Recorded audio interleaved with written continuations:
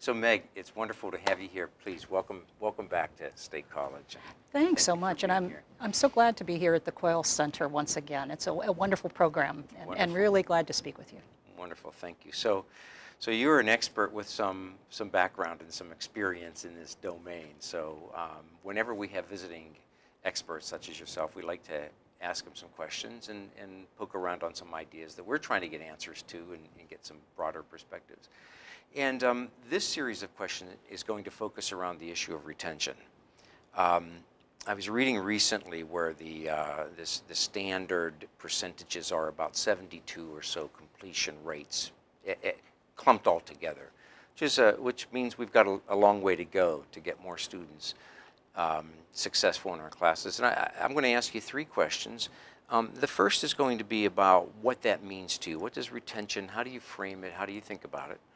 The second question would be if you had one, one issue uh, that you think could affect retention, is there a way that you could um, create a, a- solution? And it could be a big solution. No problems with money. We'll give you all the money you want and time. And last question is, okay, we don't have all the money and time. I was just kidding. So if you had to pick one thing, what might one thing be? So, so let's start with the first one. If you could just tell us, what does that issue of retention mean to you? Great, Larry. Um, I think you've framed a really important question, and one I think that many universities are struggling with today. Um, you know my context. I come from an adult-serving, adult-friendly institutions, predominantly online or blended experiences. So my definitions of retentions tend to focus more on degree completion and also certificate completion. So whatever the student sets out as a goal for what it is that they want to complete. So I, I think um, for a long time I haven't looked at it as course completions. I think earlier on I looked at retention as, you know, can we improve X course or Y course, and more specifically working on the course. Um, I think in the most recent history, we've been looking at degree attainment and the problem with the, the fact that many adults start degrees and don't complete degrees. Those statistics are much worse um, than you're describing with the 73%. You know, in the adult serving industry, if you get 50%, that's pretty good. I, you know, as a previous college president, provost, now a faculty member, when you say only half of the people who start this out complete, it's just not a statistic that I can feel good about um, in the field. So I think it's something we definitely have to work on. And you know, there are many, many causes um, that hurt the, the ability to have the student complete. So this this is really interesting. Your perspective. Uh, it's not one I'd thought of before. Is the shift from thinking about sort of a short-term goal, which Yeah. is the course, to thinking about the longer trajectory and try to keeping students in that. Um, as you made that shift in time and thinking about um, the differences, uh, and then you, as you said, you know, we might look within a course and it might be 73%, but within a program is 50%. Right. That's a huge, again, a shift Yep. or adjustment. A- As an administrator, as a senior level administrator, how did you reconcile that within your institution? Well, I think we we look at many elements, and um, you know from your work that you you look at course completion, but you also look at what is the student's goal for how they're moving Ah, forward. okay, You know, and when you're working with the adult learners in context, you're you're much more likely to say there are external factors, there are internal factors, um, and I think an important part of our work as administrators is to look at the national and state context. So what what are external people thinking about our capability as higher education of, um, administrators to carry out our mission? Um, and how do we convince them that the goals that we have are reasonable goals um, for moving forward? Course completion is one of those. Um, the student support's another of those. Um, the cost of education, recognition of prior learning. There are many areas that, that we can work on. So, Meg, would you sort of presume that when a student comes into a program, their ultimate goal, most, would be degree completion? So it's usually certificate or degree Yeah, completion. okay. Um, and So it's not you- one course here or a course there. They're typically looking at a yeah degree. Yeah, gen- Okay. yeah, and, and if we can work to identify those who are not um, on that track to make it clear what they're looking for.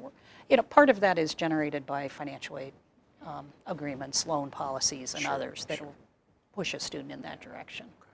So you, you've uh, hinted already that you've got like one particular area, and then maybe a solution. Yeah, hey, you know, and I think you could hit many, many areas. Um, one of the things that I'm particularly interested in recently is equipping faculty with the best resources so that they can do their job. Um, and I've been interested in adaptive learning for this reason.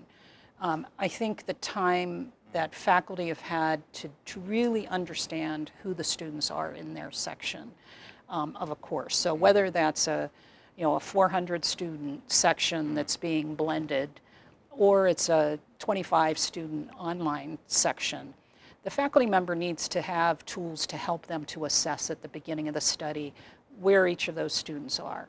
So if I had, you know, a limited time or money, I would get the resources together that would give the most information on a dashboard to that faculty member, but not just the dashboard of sort of, you know, what are the students' writing skills, what's their math preparedness, but because I work with adult learners, I'm also interested in the faculty member being able to start with that student where she is. You know, if she has experience in business, she shouldn't be starting, you know, with the typical 20-year-old. She should be starting with somebody who has solid experience. If she's working in healthcare, the faculty member should know in advance, hey, I've got stu- five students here who work for, in the hospital system. You know, so I'd like, I'd like there to be the capability for the faculty member to have enough information in a way that's easy for them to read and assess, and then they can adapt their courseware as they move forward. Um, I think in the, the adaptive industry, we're just learning where we are in this industry. So getting those skills and capabilities of the students to allow them to move through computer systems a little bit. Then the faculty member can jump right in and she or he can mm-hmm. work with that student to say, this is where this individual student needs help, or this is where this individual student is soaring and she needs to, to you know, be able to have more information that she can work on. Or do I have a group of learners who I need to just skip this next module? You know, I don't need this module. This group is different, so I want to move forward. So I'm, I think we have software now that's getting us there. Um, I think it's not scalable. I think it's expensive. I think it takes a lot of time. But I think if we could get that moving, particularly with first year courses, it would help a lot. So if we were to take one small step toward that, I suspect we're collecting some of this information. Yeah. But maybe we're not doing a great job of Right. getting it in the hands. Would that be a Yeah. step forward? Yeah, part of it is that the, the vendors, the, the industry's not mature. Um, so that the vendors are working with a number of colleges. Uh, colleges need to work together. Um, as typical, I think, you know, we can work together so that we are developing adaptive software that each of us are using, um, testing it out and moving it forward. I think an initial step is to be able to make that um, investment. And some of it takes some external funding, you know, whether it be institutions that have large scale um, and can afford to develop these types of resources. Um, you know, if you look at, you know, a lot of institutions that have large student sections, um, they can see the opportunity to have the improvement um, in those industries. So I'm excited about that area of adaptive. I'm not sure it's a solution for everyone.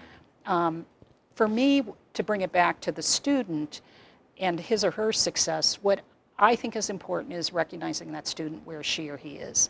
And then being able to save them either time or money moving forward with that.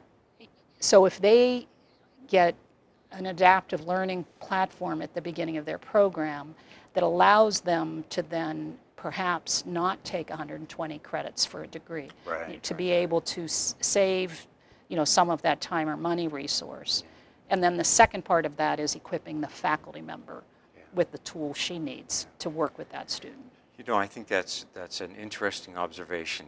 A, lot of the adaptive learning things that I've been reading about and listening to have to do a lot with the student and the system adjusting to the student. You're flipping that around Yeah. and saying the faculty, Faculty also it. needs access to that. Absolutely, absolutely. That's wonderful. Thank you so much. It's always a pleasure to see you, Meg. Thank Thanks, you. Larry.